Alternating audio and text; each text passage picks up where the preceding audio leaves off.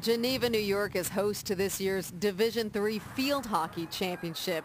One of the teams who made it upstate, Bowdoin College of Maine.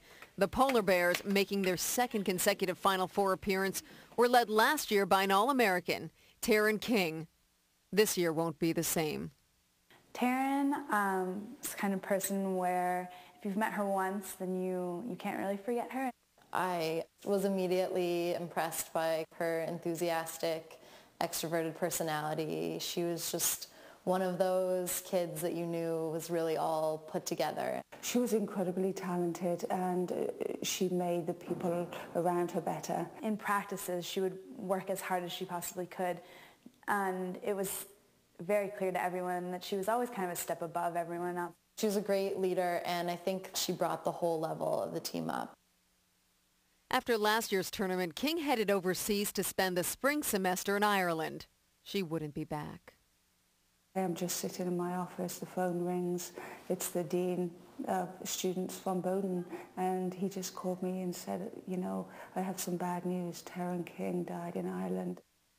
Taryn had contracted an overwhelming bacterial infection. At just 21 years old, she was lost to an infection you've probably never even heard of. My initial reaction was just, I just didn't believe it. I thought, this can't be true. There's no way. And it was definitely one of the hardest things that I've ever been through. Telling the rest of the team was the hardest thing I've ever done as a coach, and I hope I never have to do it again.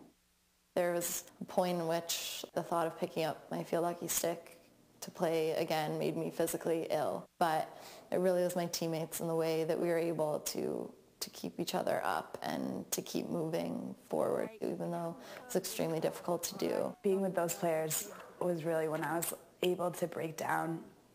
And um, I think we all needed each other for that. The support in the team for one another when you go through such adversity uh, was wonderful. Um, uh, the strength of this team is unbelievable.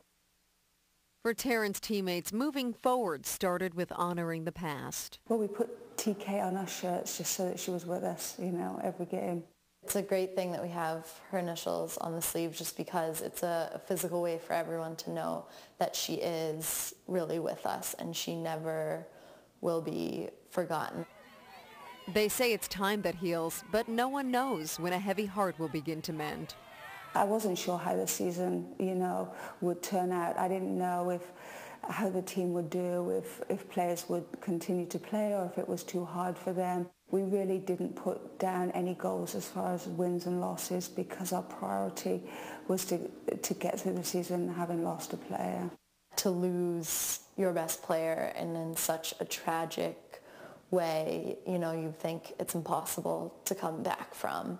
But that's just not the way that we are, and that's just not the way that she was.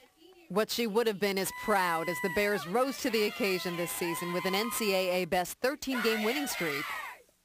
I don't think any team could make it back here. Um, I think it took a lot of work beyond physical. Um, it took emotional sacrifices and, and mental strength, and, and everyone needed to have it in order for it to, to work. This is my 11th year and by far this is the greatest achievement ever by a team. So um, I'm incredibly proud of them. For Bowdoin, that achievement is so much more than reaching the semifinals here in New York. But they're here to play, as they've been all season. Going up against Messiah College, a tight game remains scoreless until early in the second half when Lindsey Hunter takes the Falcons to a 1-0 lead.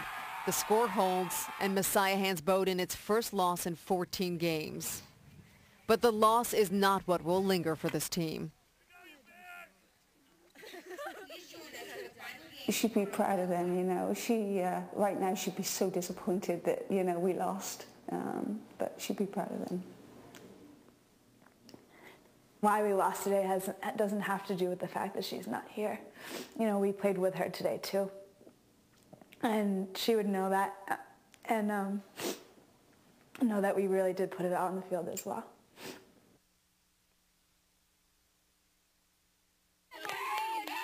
In the championship, it's Ursinus College against Messiah, who lost in the finals last year. Messiah gets on the board first with a score by sophomore Tiffany Leatherman. But just 90 seconds later, Lindsay Kappa returns the favor, tying it up 1-1. Kappa doubles up minutes later, edging the Bears ahead, giving their fans something to cheer about. But the Falcons respond. A semifinal hero Lindsay Hunter scores to tie it at 2-all. In a relentless second half, Molly Stevens scores a pivotal goal for Ursinus, giving them a 3-2 lead. It's a goal that would define the title as the Ursinus Bears claim their first national championship in program history. A tough loss to swallow for Messiah, two years running a heartbreaker in the final but Ursinus has claimed it.